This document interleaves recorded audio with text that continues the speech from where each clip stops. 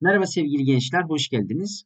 Milli Eğitim Bakanlığı LGS Ocak ayı örnek soruları yayınlandı. Birbirinden güzel matematik soruların çözümlerini birlikte yapalım. Önce kendiniz bu soruları çözmeye çalışın. Ben sizin vaktinizi fazla almamak için kısaca direkt çözümlerini yapacağım. Siz videoyu durdurup kendiniz çözün. Sonra buradan kontrol edebilirsiniz.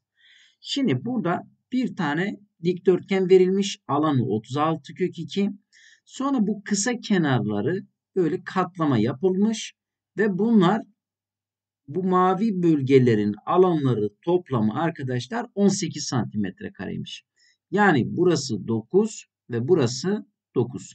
Şimdi kısa kenar direkt uzun kenarın üzerine geldiği için yani şurası şuraya eşittir arkadaşlar katlama yaptığı için. Ben tekrar eski haline getirirsem yani şöyle çizersem e bu 9 ise burası da 9'dur. Yani bu iki ikisinin alanının toplamı ne oldu? 18 oldu. E bunlar birbirine eşitse bu bir karedir. Karenin alanı 18 ise bir kenarı kök 18'dir. Kök 18'i biz nasıl dışarı çıkartıyorduk arkadaşlar? 9 çarpı 2 diyorduk. Yani 3 kök 2. Demek ki kısa kenarımız 3 kök 2 ve burası da 3 kök 2 oldu. Şunları 3 kök 2. Peki 3 kök 2 ile neyi çarparsam 36 kök 2? O zaman uzun kenarda 12 olur. Alan 36 kök 2 olduğu için. Peki burası da aynı şekilde 3 kök 2 olur mu arkadaşlar? Olur. E, benden zaten diyor ki AB kenarını bu uzunluğu istiyor. Burayı istiyor. Tamamı 12 idi. 3 kök 2 burada. 3 kök 2 burada 6 kök 2. O zaman ben ben 12'den tümü 12 olduğu için 12'den 6 kök 2'yi çıkartırsam AB uzunluğunu bulmuş olurum. O zaman 12 eksi 6 karekökün içine 72 diye atarsak 36 e, diye atarsak 2 ile çarptığımızda 72 olur. Peki 72'nin yaklaşık değeri nedir? Onu bir bakalım. 64 olsaydı karekök 8 olacaktı. Bu da 8 küsuratlı bir şey olacak arkadaşlar. Eğer ben 12'den 8 küsuratlı bir şey çıkarttığımda 8 çıktı 4 ama küsuratı da olduğu için yani 3 küsuratlı bir sayı olacaktır. O da 3 ile 4 arasında olacak. Doğru cevabımız B seçeneği. Evet. Hiç vakit kaybetmeden geldik ikinci soruya. Arkadaşlar burada da e, kendiniz bir okuduktan sonra burada diyor ki C karesel bölgesinin alanı 4x kareymiş. Yani buranın alanı 4x kare ise demek ki 2x birim burası, 2x de burası. Peki bunlar 2x ise şurası da 2x, burası da 2x olmaz mı? Yani burası 6x oldu. Bakın B'nin bir kenarı 6x oldu. E, şimdi burada B'nin bir kenarı değil mi burası? O zaman bunlar da 2x ve 2x olmalı ki 6x olsun. Demek ki kısa kenarlarda 2x'tir. Topladığınızda bu 5 tane 2x'in toplamı 10x oldu. Bu karenin çevresini soruyor. Çevresi nedir? E 10x ya. E burası da 10x. E 4 tane kenarı var. O da 4 çarpı 10x'ten 40x olur. Doğru cevap C seçeneğidir sevgili gençler. Kolay bir soruydu. Geçiyorum üçüncü sorumuza. Evet burada da veri analiz sorusu arkadaşlar. Grafik sorusu. Yani burada yine okuduğunuzda bir pizza yapımı yapılıyormuş. Mantar, sucuk, zeytin ve biber kullanılıyormuş. Burada diyor ki başlangıçtaki malzeme miktarı sarı olanlar belirli sayıda pizza yapıldıktan sonra kalan malzeme miktarı da bunlarmış arkadaşlar. Sonra ne oluyor? Burada önemli olan bu pizza yapımı belli bir süre sonra malzemelerin biri bitiyor diyor. Biten malzemeden başlangıçtaki miktar kadar temin edilerek diğer ma malzemelerden biri bitene kadar pizza yapımına devam ediliyormuş. Önemli noktası burası arkadaşlar. Diğer malzemelerden bitene kadar bir pizza yapımı devam ediliyormuş. Bir tanesi daha bitecekmiş. Peki diyor ki e, en son kalan malzeme miktarının dağılımı nedir diye soruyor arkadaşlar. Şimdi bakalım. Burada 2 birim gitmiş arkadaşlar. Şurası 4 birim gitmiş. Burası 5 birim gitmiş arkadaşlar. Şurası da 3 birim gitmiş. Burası önemli. Şimdi bu 5 birim toplam zaten 10 birimdir. 5 birim gittiğinde bunlar 4, 2 ve 3 gidiyor. E şimdi burada bir 5 kaldı. Bir 5 daha gittiğinde arkadaşlar bu zeytin ilk biter. 0 olur. Peki buradan bir 4 birim daha eksilecek. 4 birim daha eksilirse şurası şuraya kadar gelir. 1, 2, 3, 4. Şuraya kadar geldi arkadaşlar. Bir 4 birim daha gitti. E buradan bir 2 birim daha gider arkadaşlar. Şuraya kadar gitti. Buradan da bir 3 birim giderse şuraya kadar gitti. Şurada kalan 6 birim arkadaşlar. Burada kalan 2 birim. E, burada 0 kaldı. Hemen altlarına yazalım. Burada ise 4 birim kaldı. Bakın buralar önemli. Sonra gelelim. Ne oluyor diyor. Şimdi sıra zeytinden sonra sucuk muhtemelen biter. Ee, burada 2 birimlik 2 dilim sucuk kalmış arkadaşlar. Eğer bu iki dilim sucuğu bitirirsek sıfır olursa yani sucuk hepsi tükenirse sıfır olursa arkadaşlar. Şimdi burada iki bakın dört dilime karşı burada iki birim gidiyordu. Eğer e, burada iki birim daha gitmişti. İki birim olursa o zaman yarısı dördün yarısı iki olduğu için ikinin yarısı bir birim daha buradan azalacak. O zaman burada kalan beş olacak. Yukarı beşi yazdım. Tamam mı? 6'dan 1'i çıkarttım 5. Peki zeytinden 10 birim daha getirmiştik arkadaşlar. Ee, şimdi diyor ki bakın 2 birim bu sucuk bitince 2 dilim bitiyor. O zaman bu 4'ün yarısıydı. O zaman bu 5'in yarısı kadar gidecek. Yani 2,5 dilim gidiyor burada. Burada kalan 7,5 dilim. 7,5 kaldı. Yine aynı şekilde 4'ün yarısı 2 olduğu için burada yarısı gitmiş olacak. Yani şimdi Burada 4 dilim kalmıştı. Bu 4'ün de arkadaşlar şimdi 4'e karşı 3 gidiyorsa 2'ye karşı yarısı yani 3'ün yarısı 1,5 gidecek arkadaşlar. Eğer 1,5 giderse burada eksilirse o zaman burada ne kalır arkadaşlar? Geriye kaldı 2,5. 4'ten 1,5'ü çıkarttık 2,5 kaldı.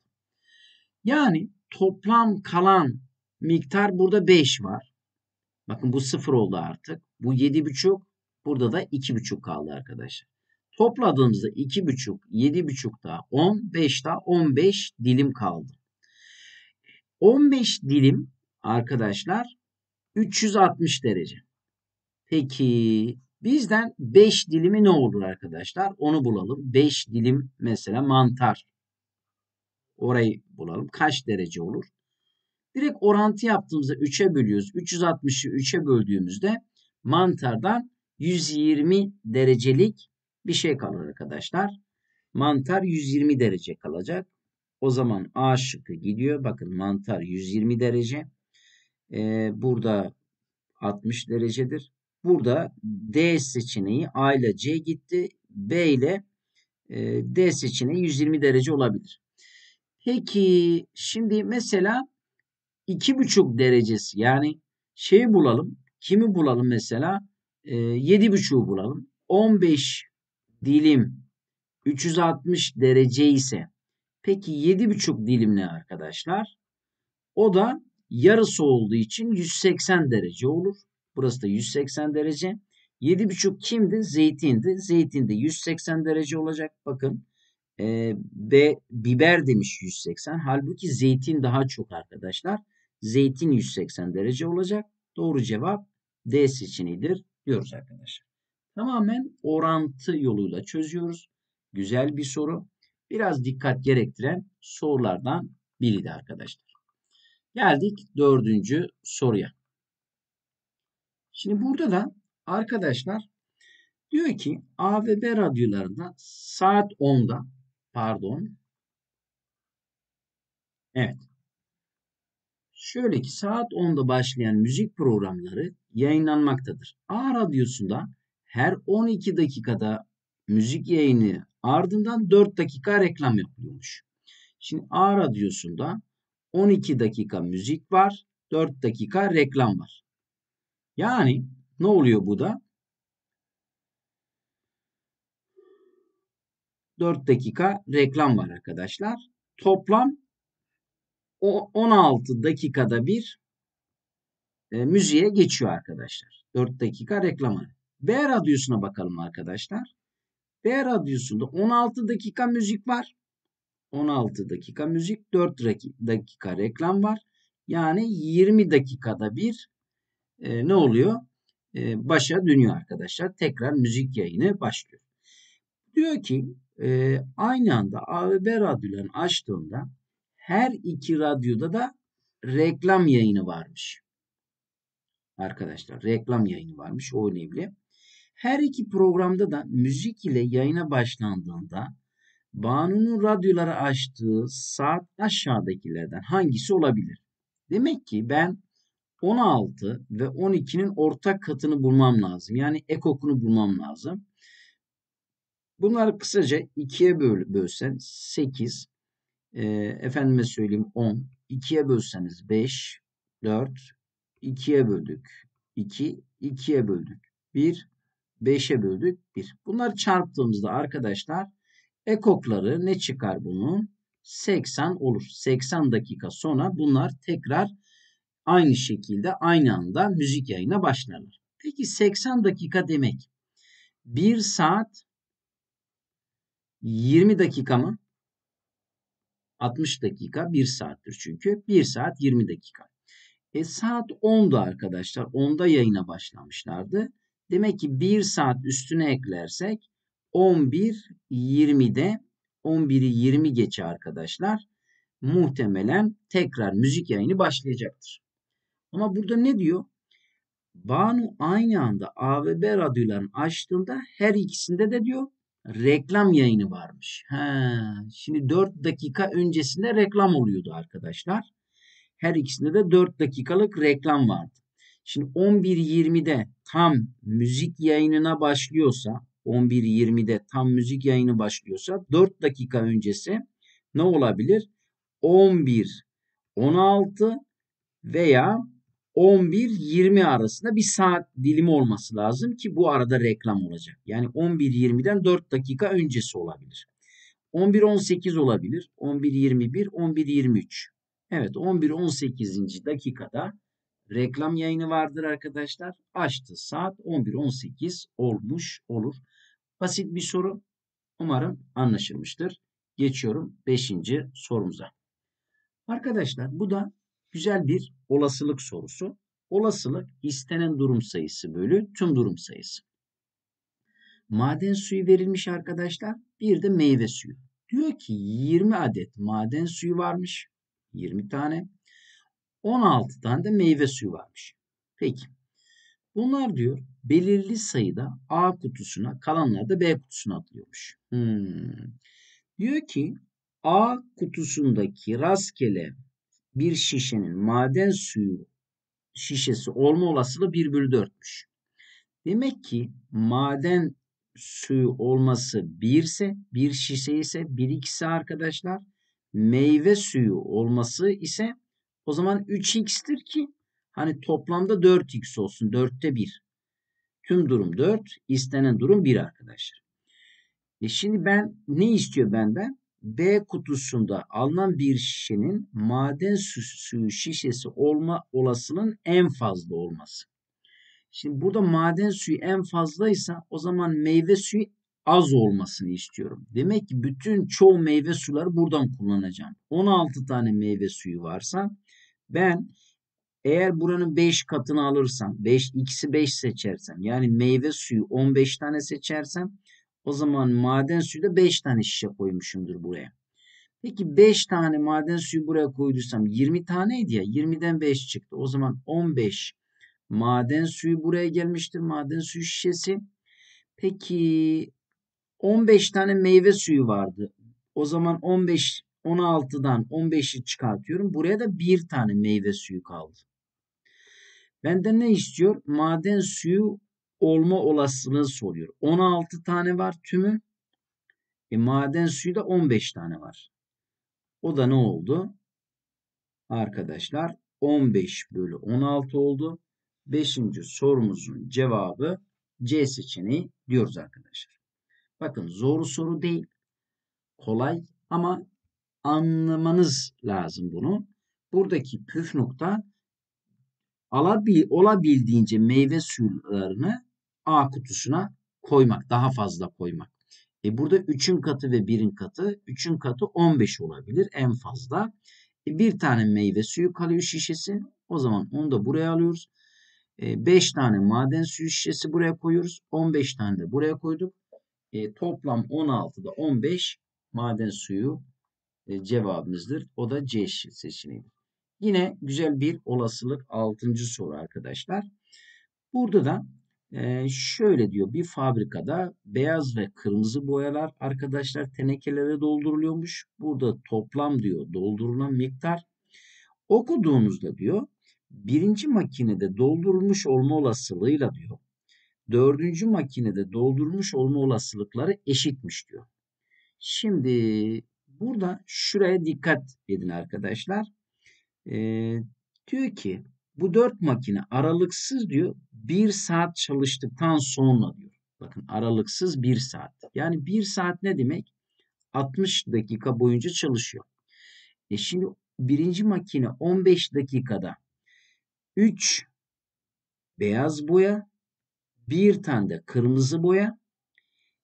E, 15 dakikada bu, bu kadar yapıyorsa 60 dakikada 15'in 4 katı olduğu için 4 ile çarpıyoruz burayı. 12 tane teneke yapacak. Burada da 4. Kısaca toplamda 4, 12 daha 16 veya 4 katını alabiliriz. Yine aynı şekilde arkadaşlar 10 dakika 4 tane yapıyor ya. E 60 dakika dediği 6 katı. 6 katı 24. 6 kere 2 12. 6 kere 6 zaten 36 olur. Yine 20 dakika 60'ın 3'te 1'idir. Yani 3 ile genişlettiğimizde 15, 3 ile genişlettiğimizde 9, 3 ile genişlettiğimizde 24. 30 dakika e şimdi 30 dakikada 6 tane yapıyor. 60 dakikada ne oldu arkadaşlar? 12 tane 2 katı. E burası da 2x. Bu ikisini topladığımızda 12 artı 2x tane yapmış olur. Diyor ki birinci makinede bakın burası önemli. Birinci makinede doldurulmuş olma olasılığıyla dördüncü makinede doldurulmuş olma olasılıklar eşitmiş. Bunlar birbirine eşitse e bu 16 ise bu da 16 olacak. 16 olabilmesi için x'in 2 olması lazım. Yani 2 kere 2 4 oluyor arkadaşlar. Peki ne istiyor bizden? Kırmızı boya doldurulmuş olma olasılığı nedir arkadaşlar? Şimdi kırmızı boya 4, 12 da 16, 4 de elde. 24 de burada 29 da 29. Peki tüm boyalar nedir? 16, 36, 24. Burada da 16 var. Topladığınızda 92 olmuş olacak. 92 de 29 doğru cevap B seçeneğidir sevgili gençler. Hemen geçiyorum bir sonraki sorumuz 7. soru. Arkadaşlar burada da bir mandırada diyor günlük toplanan sütlerin %10'u tereyağı bakın %30'u peynir üretimliktir. Yani tereyağı miktarı %10, %30 bir kat tereyağı, 3 kat peynir üretiyor. Oran 3 kat arkadaşlar. Haberiniz olsun. Bu mandırada 20 litre sütten 1 kilo tereyağı, 5 litre sütten 1 kilogram peynir elde edilir. 4 günde 6 ton tereyağı. Diyor ki 4 günde 6 ton tereyağı. Şimdi 1 ton 1000 kilo. O zaman demek ki e, 6 ton demek 6000 kilogram demektir tereyağı. Ben şimdi bu 6000 kilogram tereyağı ne kadar süt kullanılmış onu bulursam o sütün 3 katı kadar da peynir elde edilecektir. Ona göre şey yapacağız arkadaşlar. Şimdi 6000 kilogram bakın tereyağı 20 litre sütten 1 kilo ya.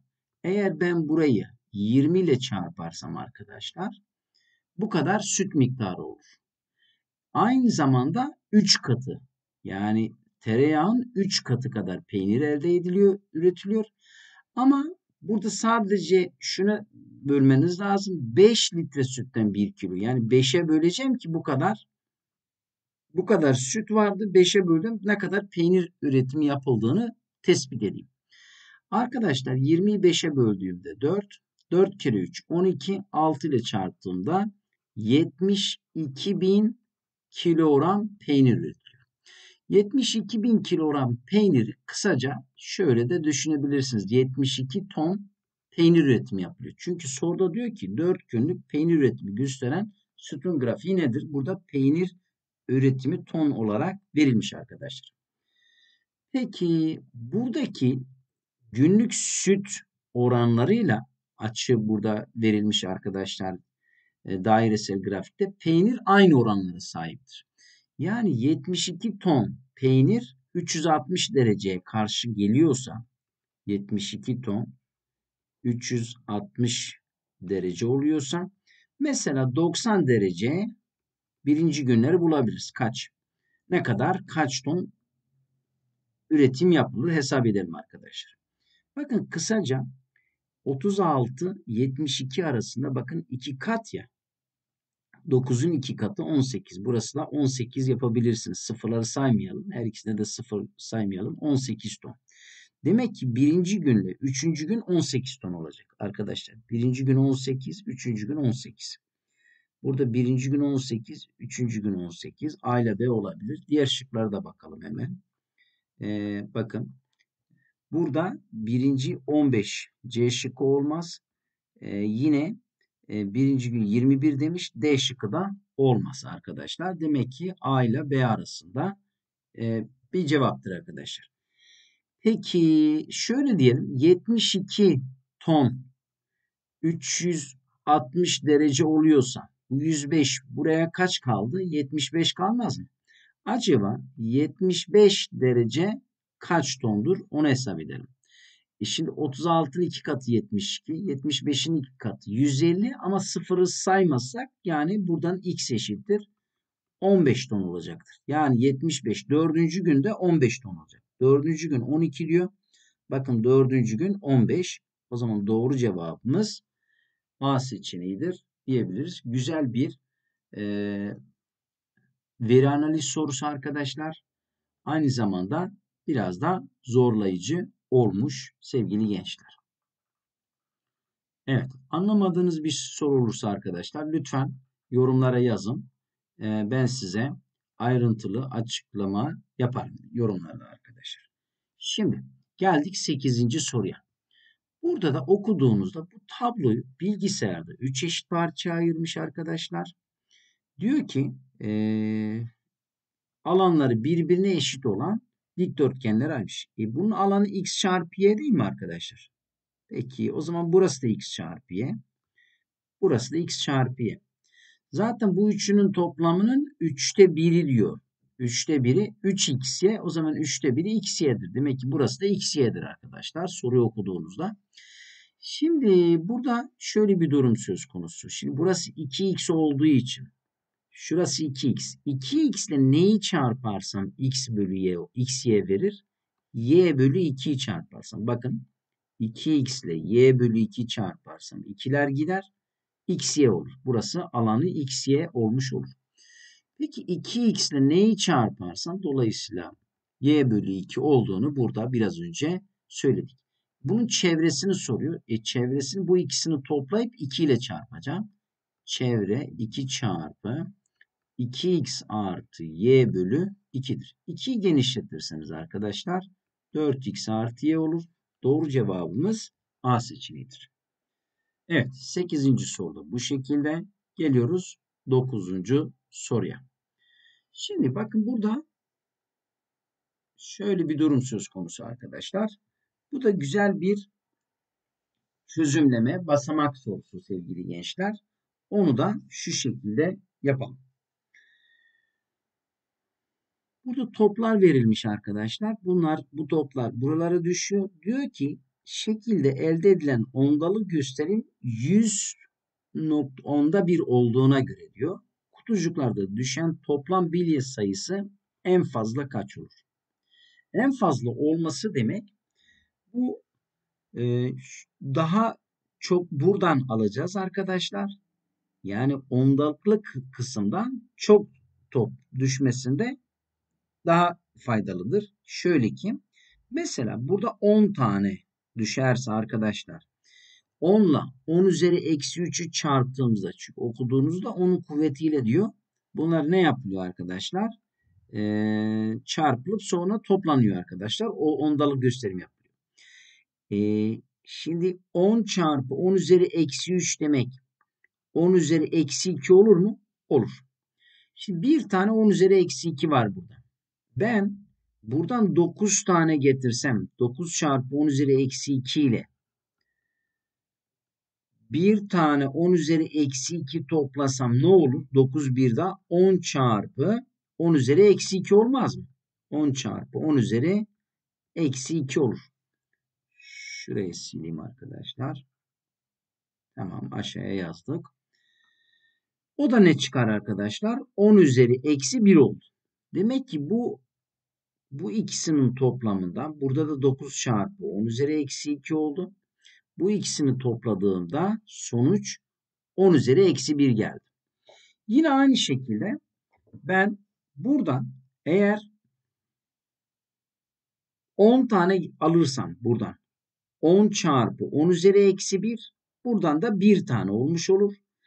E, 1 artı 10 üzeri eksi 1 oldu. O da ne olur? 10 üzeri eksi 1 0 1 demek. 1 ile topladığımda 1.1 oldu arkadaşlar. Peki geldik buraya. Şimdi bir, ta bir tam var burada. Ben eğer buradan 9 tane indirirsem 9 çarpı 10 üzeri 0 9 olur arkadaşlar burası.